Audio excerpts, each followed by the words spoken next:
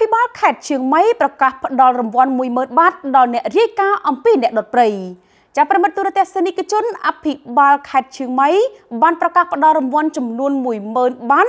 ឬប្រមាណនឹង282ដុល្លារសម្រាប់អ្នកដែលផ្ដល់ព័ត៌មានដែលនាំទៅដល់ការចាប់ខ្លួនអ្នកដែលដុតបំផ្លាញព្រៃឈើលោកនិរុតសិទ្ធថាវុនអភិបាលខេត្តឈៀងម៉ៃបាននិយាយកាលពីថ្ងៃអាទិត្យថា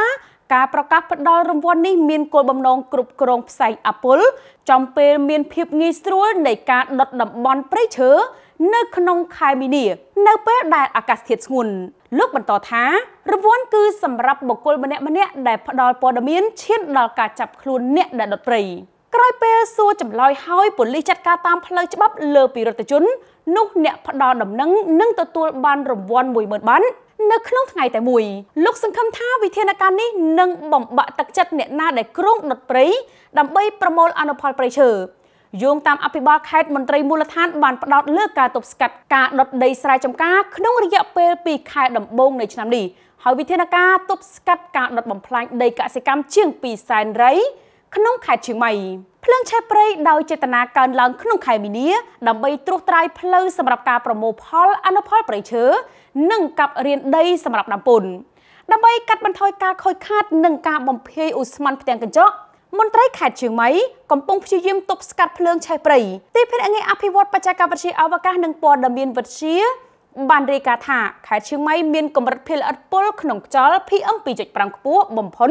ធៀបនឹងតំបន់ផ្សេងទៀតនៅក្នុងប្រទេសជុំវិញបញ្ហានេះរដ្ឋមន្ត្រីក្រសួងធនធានធម្មជាតិនិងបរិស្ថានលោកផាឆារវ៉ាន់វងសវណ្ណបានធ្វើសន្និសីទវីដេអូជាមួយអភិបាលភាគខាងជើងចំនួន17និងមន្ត្រីមកពីស្ថាប័នរដ្ឋដើម្បីពិភាក្សាអំពីវិធីដោះស្រាយការបំពុល PM2.5 ដែលកំពុងប៉ះពាល់ដល់ខេត្តមួយចំនួន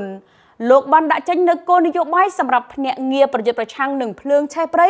និងការបំពុលដោយអំដោយសង្កត់ធ្ងន់លើតម្រូវការឲ្យមន្ត្រីយកចិត្តទុកដាក់លើតំបន់អភិរក្សព្រៃឈើចំនួន11តំបន់ព្រៃបំរុងចំនួន10ក៏ដូចជាតំបន់កសិកម្មក្នុងខេត្តចំនួន17នៅភាគខាងជើងដែលភ្លើងឆេះព្រៃនៅតែបន្តកើតមាន ក្រសួងក៏បានពិភាក្សាបញ្ហាជាមួយមីយ៉ាន់ម៉ានិងកម្ពុជាដែលបានសន្យាសហការជាមួយប្រទេសថៃដើម្បីដោះស្រាយបញ្ហា PM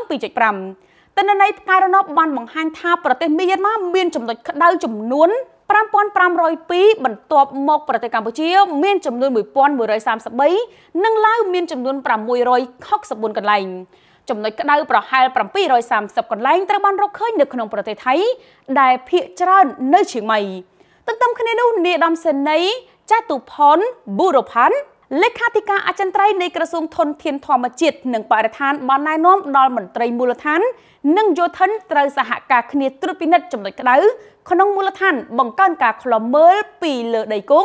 និងលើអាកាសនិងមានប្រព័ន្ធប្រដុតអគ្គិភ័យតាមអាកាសដើម្បីទប់ទល់និងទប់ស្កាត់ភ្លើងឆេះព្រៃ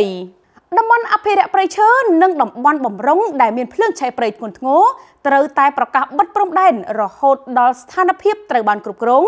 ហើយអ្នកណាដែលចូលទៅតំបន់នោះហើយត្រូវបានរកឃើញថាបានបង្កឲ្យមានភ្លើងឆេះព្រៃនិងត្រូវប្រឈមមុខនឹងច្បាប់